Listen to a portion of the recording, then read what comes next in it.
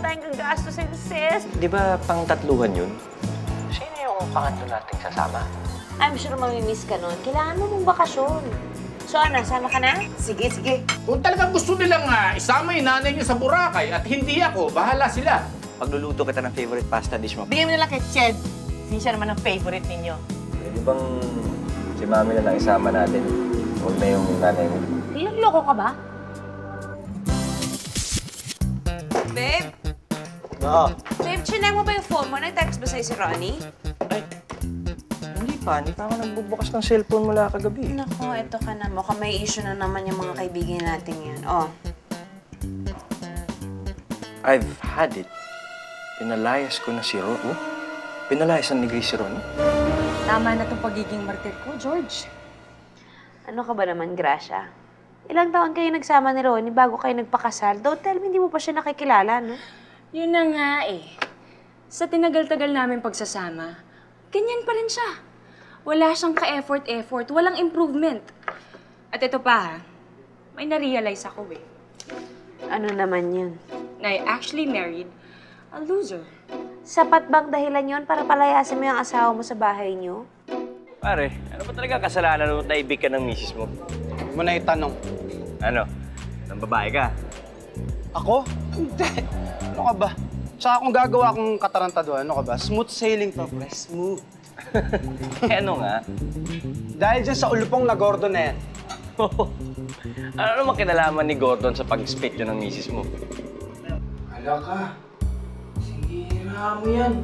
Ikaw kasi, sabi ko sa'yo, mabigat ako eh. Sino yan?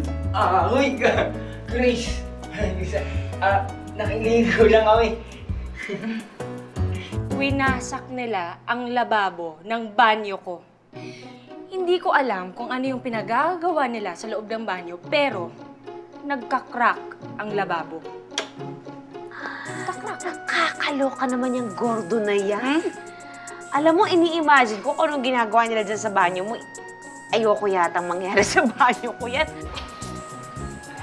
Pare naman kasi. Ba't mo naman pinayagan si Gordon na gamitin yung banyo mo na... Eh kasi nga, pre, tumawag nga. Hmm. Kahit naman ikaw tumawag ka sa akin, makikiligo ka, papayagan din naman kita eh. Eh di ba taga-antipolo yun, tapos may meeting daw siyang Makati. O ano pang gagawin ko?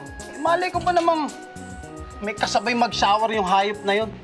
Sinasabi ko na sa'yo, George, lahat ng mga lalaki, pare-pareho yung mga yan. At lahat ng mga yan, magkakampi.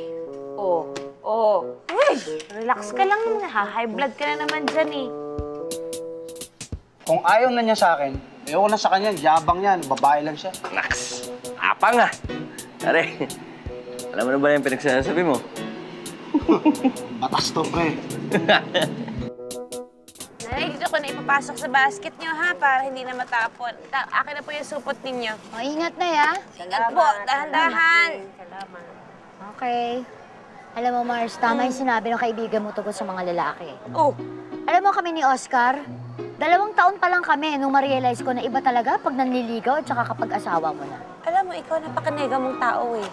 Kaya nagkakaganyan ang pagsasama ninyo ni Oscar dahil kung i-down mo yung tao, ganun-ganun na lang, maawa ka naman, Mars. Husus! Kung magsalita ka, paano kasi bago pa lang kayo ng jowa mo? O sige ha, tingnan ko lang, tingnan ko lang. Kung pagkatapos sa isang taon, sige, tsaka tayo mag-usap ulit ha. Hoy, tigil-tigilan mo ako, no? Hindi magiging ganyan si Cecil kahit kailan. Hindi matutulad yan sa ibang lalaki dyan, no? Ayaw nga naman, ibang-iba naman kasi si Cecilio. Kasi bihirang-bihira lang naman talaga yung tulad niya na mahilig magluto at saka magaling mag-gift wrap. Si Grace naman talaga may kasalanan nun eh. Sipin mo ah, dapat di siya muwi ng bahay. Eh, dapat nasa office siya eh. Kasalanan pa ni Grace. Uy, Gordon. Palala ko lang sa'yo, bahay ni Grace yun. Ha? Nakikiligo ka lang nun. Kahit na, bisita ako ron pare. May karapatan akong humingi ng privacy. Privacy para gumawa ng ano? Na kung ano-ano sa banyo. Eh, ano? O, yan si Ronnie. Oh, pare! Masana dyan? Hoy, tumahimik ka. ah. Dahil sa'yo hinayupa ka, napalayas ako ng bahay namin. Tapos ang kapal pala mukha mo, tanongin ako, kamusta ako? Binili kita, oh. Relax. Hindi kita. ano, Ron? Kinausap ka na ba ni Grace? Hindi pa. Saka wala akong bala ko sa akin. Oh. Eh, paano kayo magkakaayos kung... Kung ano? Suyuin ko? Ako, pre. Labo. Lahat ng babae ganyan. Pag sila may kasalanan at ikaw nanuyo, aabuso at aabuso yan. Huwag mong gagawin yun. Tama ka dyan, pare. Agree ako sa dyan. Kaya ako, ako, pre, kung gusto niya magkaayos kami, siyang sumuyo sa akin. Ako lalaki. Dapat alam niya yun. Eh, anong plano mo ngayon? Live a life. Binata ako ngayon, kapatid. Hindi, papakasaya ako. Enjoy! Tama. Lalong agree ako dyan, pare. Tamang-tama yan. Show her who's the man. I'm the man! I'm the man! Yan ang lalaki. Sasama kita kay Gordon. Siyempre. Magpareseta ka na ng antibiotic. ano ang kapalaran ng dalawa nating kaibigan? Yung dalawang yan, konting himas lang yan, konting lambingan, mag-usap. Wala na makakwento-kwento yung pinagawa yun nila. eh. Maayos yan.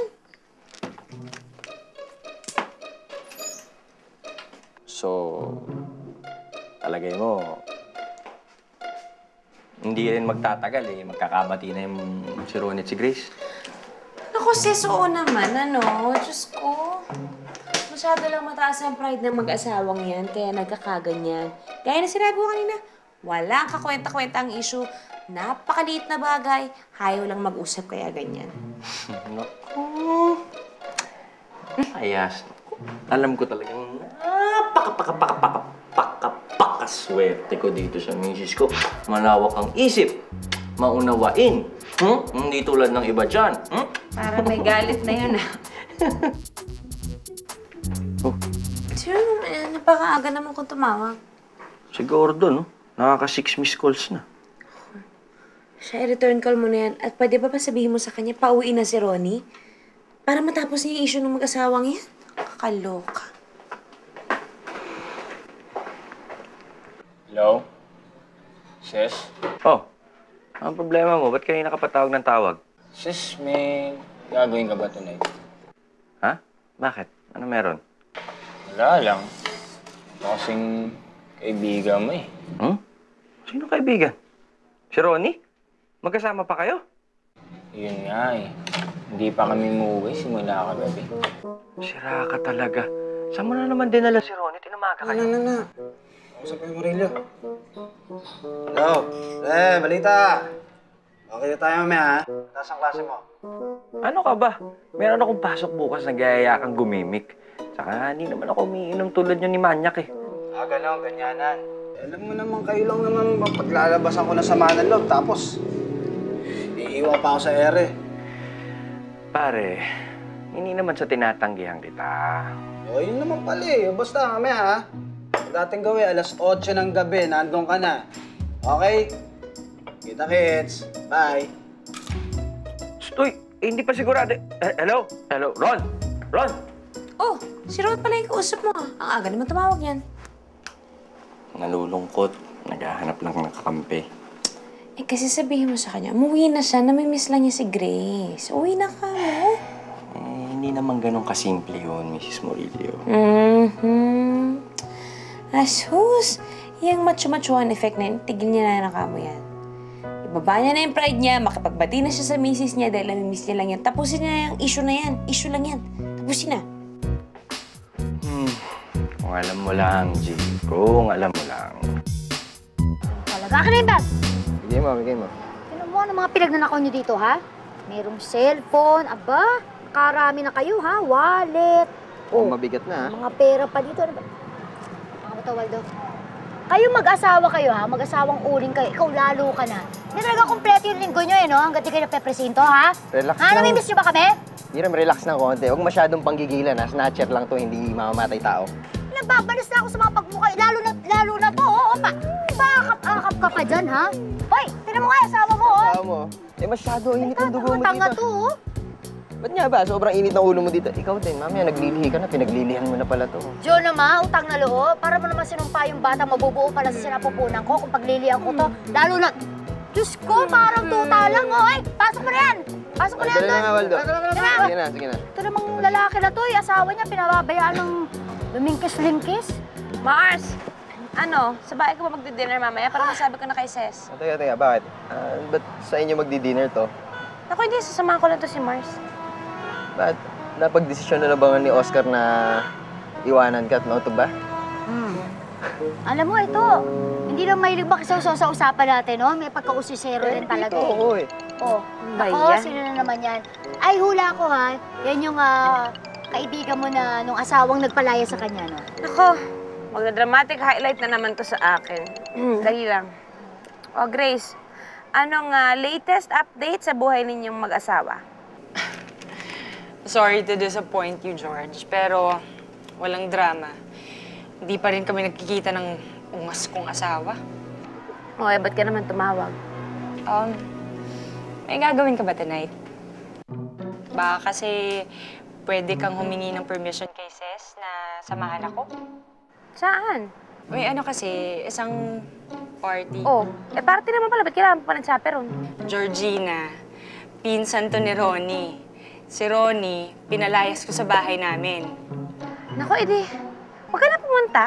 Naku, Diyos ko, maniwala ka sa akin, Grace. Malalaman at malalaman din ng pinsan ni Ronnie na nag-away kayo. I'm sure maintindihan ka niya. George, you have to understand, she's really, really nice to me. George, sige na, please. Please, please, please.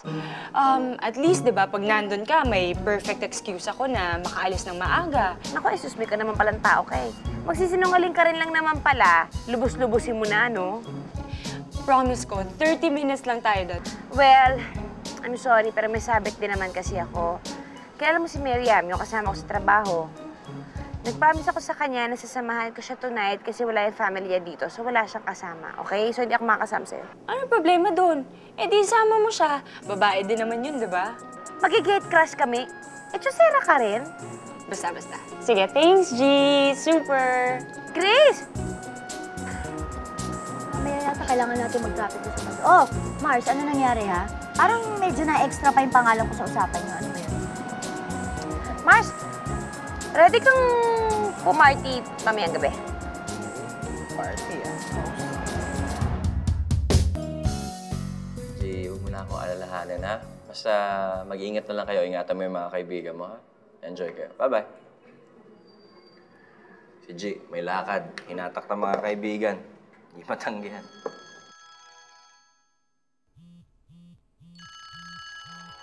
Wala ka bang planong sagutin yung telepono?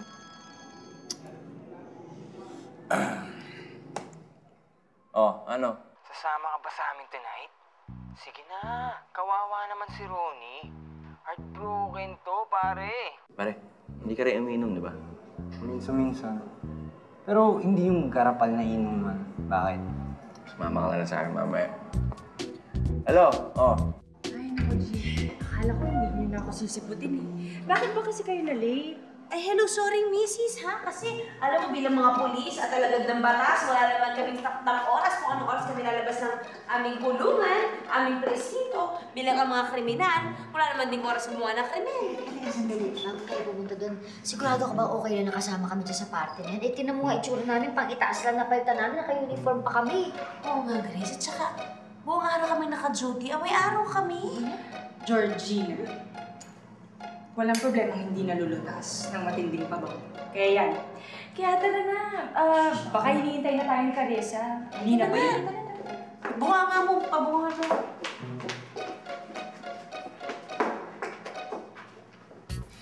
Siguro ba naka-check-in yung friend mo? Ewan ko, doon na tayo sa front desk magtanong. Paano na tayo? Bakit naman sa hotel room yung party? Oo nga, di ba ang daming function room sa baba? Ba't sa hotel room pa? Ba, hindi ko rin alam, no? Imbitado lang din naman ako dito. Tara na.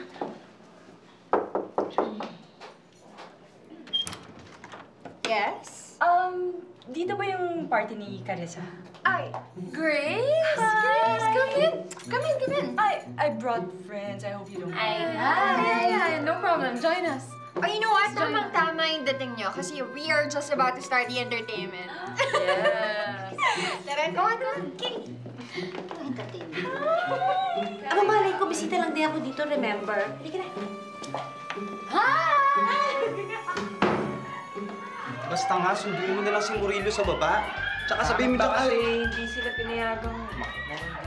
Hindi ko nga alam din. Hindi naman information eh. Sundin mo na lang, tsaka sabihin mo sa kanya, tigilan niya yung pag-iinarte niya.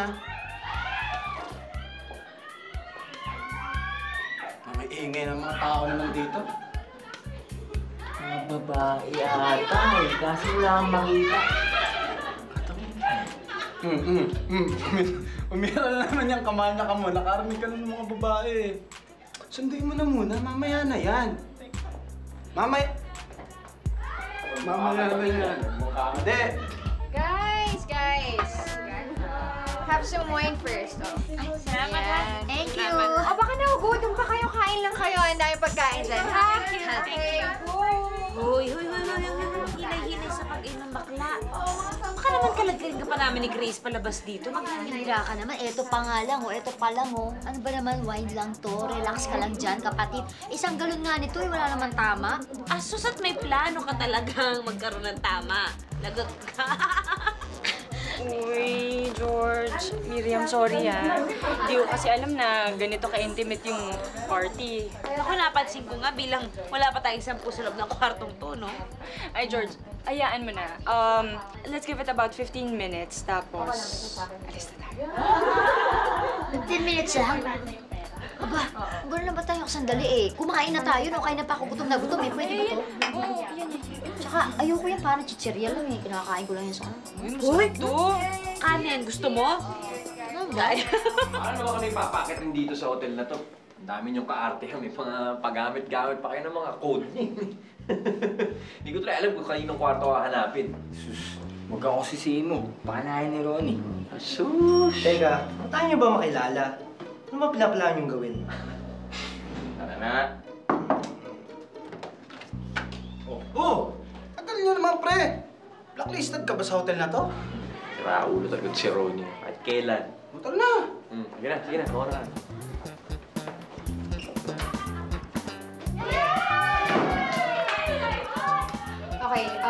Punta ka na sa baba, ha? Tapos sunduin mo sila sa coffee shop. Sabihin mo mag-ready na sila. Okay, sige. Okay na? Sige. Okay, sige. Go. Bebs, 10 minutes, ha? 10 minutes lang.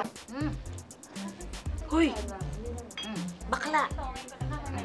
Hindi dinner to pinuntahan natin, ha? Pulutan lang yan. Ano ka ba naman? Ano ka ba naman? Gutom na gutom na ako eh.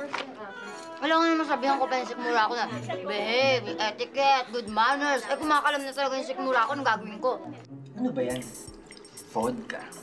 Ah, no, thank you. Pare, yan si Darius, hindi umiinom ng hard yan. Kaya mo na yan. Hindi naman to hard drink. Vodka lang to. Ordon, ano ka ba? Ang vodka, hard drink yan. Ako, Cecilia. Nakakapikong kayong dalawa. Ngayon lang ako sa-celebrate ng freedom ko, tapos ayaw pa kami samahan ni Gordo uminom. Ano ba yan? Uy, Ronnie, pakinggan mo nga yung sinasabi mo. Hindi mo ba naiisip? Nagse-celebrate ka ng freedom.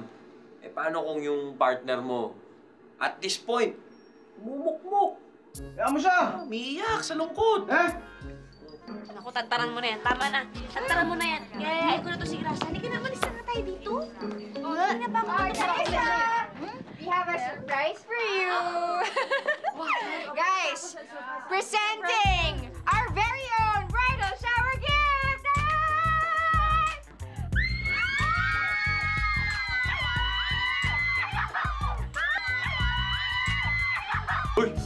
Gordon! Tingnan mo nga yung ginagawa mo. Hindi ka rito, makinig ka. Parang nagkakasiyahan yung mga chicks sa kabilang room eh. Talaga.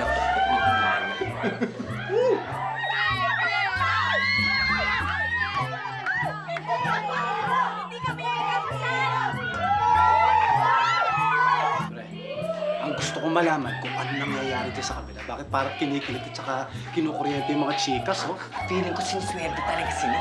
As in. ginagawa natin dito, Gordon. Nagsasaya rin, ha? Nandito tayo kasi hindi nga natin sila kilala. Pwes, magpapakilala tayo. Pero seryoso ka talaga. Oo naman, di ba binata ka na? O ano pang ginagawa natin dito? Tara na. Now, let's have some action! Tara, pre! Ayan, oy! Action time! Oy, oy! Oh, uy! Oh, oh, oh, kayong dalawa, ah, baka mamaya makulong kayo dyan sa ginagawa niyo. Uwi na lang kami dito ni Darius.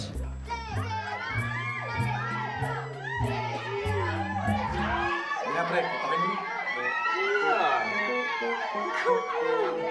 Kuya ka dyan, sapakin ko yung bagang mo dyan. Eh, di na mo to, bilisan mo na. Huwag ka lang ano.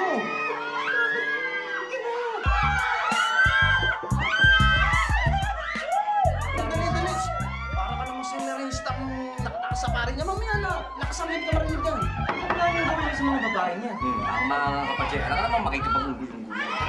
Ano ba? Ay, tignan mo yan. Ay,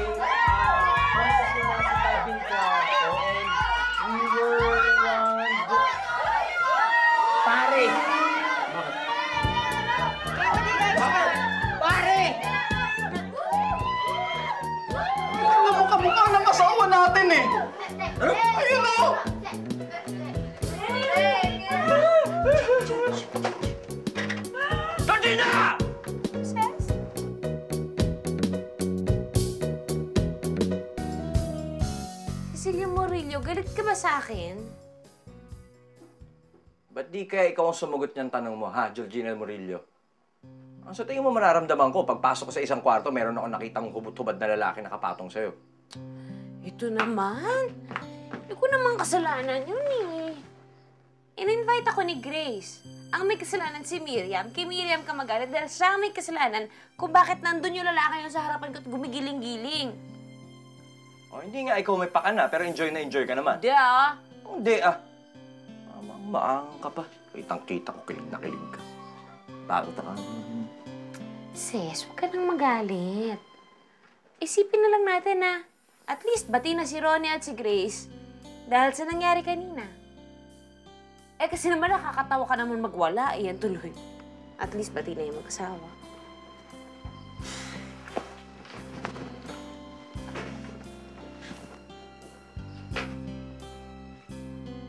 Ito naman, huwag ka nang magalit. Bati na tayo. Wala namang masama sa ginawa ko, bebe.